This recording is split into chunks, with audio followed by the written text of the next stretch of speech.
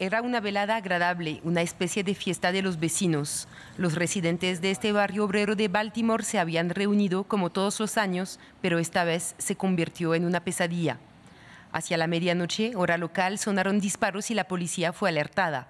Dos jóvenes resultaron muertos, una mujer de 18 años y un hombre de 20.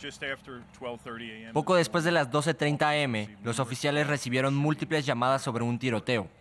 A su llegada, los agentes encontraron a varias víctimas que sufrían heridas de bala. Una mujer adulta murió en el lugar. 29 víctimas fueron trasladadas a hospitales de la zona. Baltimore es tristemente célebre por su violencia. La ciudad tiene una de las tasas de homicidio más alta del país, pero anoche se trataba de una simple fiesta de barrio y a los residentes les cuesta entender. En un intento por frenar la ola de violencia en su ciudad, el nuevo alcalde ha hecho de la lucha contra la proliferación de armas de fuego una de sus principales prioridades. En su opinión, este último tiroteo demuestra una vez más la necesidad de controlar estas armas.